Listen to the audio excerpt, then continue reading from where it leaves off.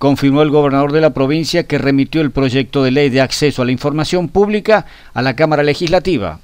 Hoy el Poder Ejecutivo ha formalizado el primer paso, cumpliendo la palabra empeñada.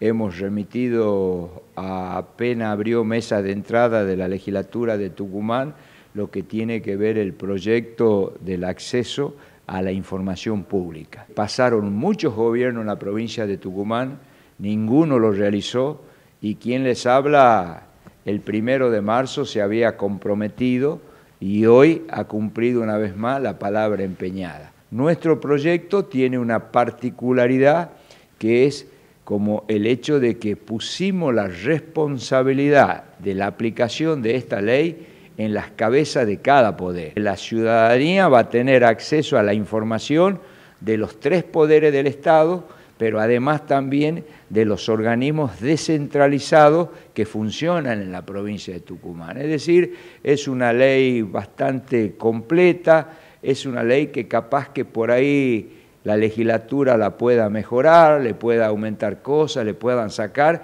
pero ¿qué es lo más importante de esto? Que empezamos a cumplir la palabra empeñada.